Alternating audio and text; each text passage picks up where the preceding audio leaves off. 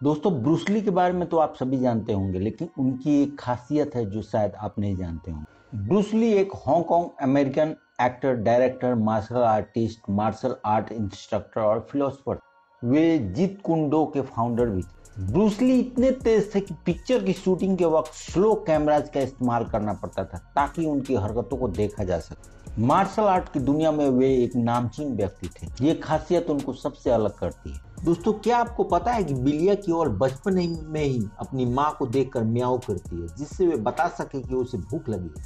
लेकिन बड़े हो जाने पर बिल्लियाँ कभी भी एक दूसरे को म्याव नहीं करती है। पर अकेले में वह इंसानों के सामने कर ले दोस्तों, क्या आपको पता है कि फ्रांस में मौजूद पैसेज ड्यू गॉश सड़क दुनिया के सबसे खतरनाक सड़कों में से एक है, क्योंकि यह दिन में दो बार पानी में गायब हो जाते हैं। और अगर कोई इंसान सड़क में जा रहा हो, उसी वक्त पानी आ जाए तो उसके लिए सड़क के किनारे में खंबे लगाए गए हैं, जिसको पकड़ कर इंसान तो बच सकता है, लेकिन गाड़ी को बचाया नहीं जा सकता।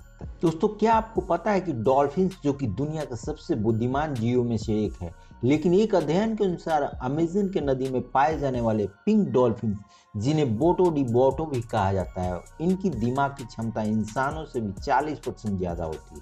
दोस्तों, क्या आपको पता है कि जर्मनी में मेढकों को सड़क पार कराने के लिए सड़कों पर विशेष व्यवस्था की जाती है? यहाँ सड़कों के किनारे थोड़ा गड्ढा बनाकर बाल्टी रखी जाती है, जो मेढक जब सड़क पार करने की कोशिश करते हैं तो इस बाल्टी में गिर जाते हैं। बाद में कर्मचारी उन्हें सड़क पर पार छोड़ कर आते हैं।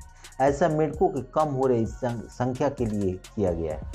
क्योंकि प्रजनन के समय मेढक अपनी मंजिल तक नहीं पहुँच पाते क्योंकि ये गाड़ी के नीचे आकर मर जाते दोस्तों, क्या आपको पता है कि ब्रिटिश क्वीन का हैंडबैग एक बॉडी लैंग्वेज कम्युनिकेशन डिवाइस है? जी हाँ दोस्तों, इसका उपयोग वह अपने स्टाफ को सेक्रेट और साइलेंट मैसेज भेजने के लिए करती है। एग्ज़ाम्पल के लिए, यदि वह किसी अतिथि से बात करना समाप्त कर लेती है तो वह उसे एक हाथ से दूसरे हाथ में ले जाएगी और उनके सहयोगी विनम्रता से बातचीत समाप्त कर देंगे। यदि वह अचानक बातचीत बातचीत समाप्त करना चाहती है तो वह अपना बैग ज़मीन पर रख देगी। इस तरह वह अपने हैंड बैग को एक बॉडी लैंग्वेज कम्युनिकेशन डिवाइस की तरह इस्तेमाल करती है। दोस्तों, क्या यह जानकारी आपको पहले से पता थी अगर नहीं थी तो कॉमेंट बॉक्स में ज़रूर लिखे और ऐसे अमेजिंग वीडियो देखने के लिए लाइक शेयर और सब्सक्राइब ज़रूर करें। मिलते हैं अगले वीडियो दोस्तों, क्या आपको पता है दक्षिण प्रशांत महासागर में एक अंतरिक्ष यान कब्रिस्तान है, जिसे पॉइंट नेमो के नाम से जाना जाता है? यह 300 से अधिक अंतरिक्ष यान और संबंधित अंतरिक्ष मलबे का घर है, जिसमें एम आई अंतरिक्ष स्टेशन भी शामिल। है जो रूसी अंतरिक्ष यात्रियों द्वारा ग्रहों की कक्षा में पहली बार इकट्ठी की गई वस्तु है। दोस्तों, क्या ये जानकारी आपको पहले से पता थी अगर नहीं थी तो कमेंट बॉक्स में ज़रूर लिखे और ऐसे अमेजिंग वीडियो देखने के लिए लाइक शेयर और सब्सक्राइब ज़रूर करें। मिलते हैं अगले वीडियो दोस्तों, क्या आपको पता है कि ब्रोकली जो हम लोग सब्ज़ी में यूज़ करते हैं, वो एक मैन मेड फ़ूड है। ब्रोकली को छठी शताब्दी ईसा पूर्व के आसपास जंगली गोभी के पौधों के बीच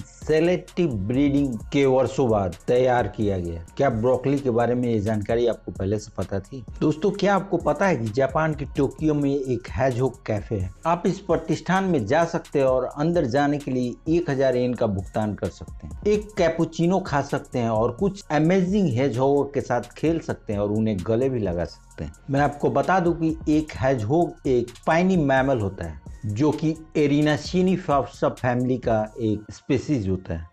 दोस्तों, क्या आपको पता है कि अब तक खोजा गया सबसे छोटा डायनासोर केवल 16 इंच लंबा है? चीन में खोजा गया माइक्रो रैप्टर सबसे हाल के डायनासोर खोजों में से एक और यह अब तक की सबसे छोटी डायनासोर। अधिकांश नमूने जो पाए गए हैं, वे भी पूरी तरह से विकसित हो चुके हैं, इसलिए बेबी माइक्रो रैप्टर और भी छोटे होते हैं। तो दोस्तों, क्या है, डायनासोर के बारे में आपको जानकारी पहले से मालूम थी? अगर नहीं थी तो कमेंट बॉक्स में ज़रूर लिखिए और ऐसे अमेजिंग वीडियोस देखने के लिए लाइक शेयर और सब्सक्राइब ज़रूर करें। मिलते हैं अगले वीडियोस दोस्तों, क्या आपको पता है कि इंग्लैंड में कबूतर के शिकार को क्राउन की संपत्ति माना गया है? ऐसा इसलिए है क्योंकि बारूद बनाने के लिए कबूतर के मल का इस्तेमाल किया जा सकता है। इस वजह से किंग जॉर्ज ने 18वीं शताब्दी में सभी कबूतरों के झुंड को क्राउन की संपत्ति घोषित कर दिया था। दोस्तों, क्या यह जानकारी आपको पहले से पता थी? अगर नहीं थी तो कमेंट बॉक्स में ज़रूर लिखे और ऐसे अमेजिंग वीडियोज़ देखने के लिए लाइक शेयर और सब्सक्राइब ज़रूर करें। मिलते हैं अगले वीडियोज़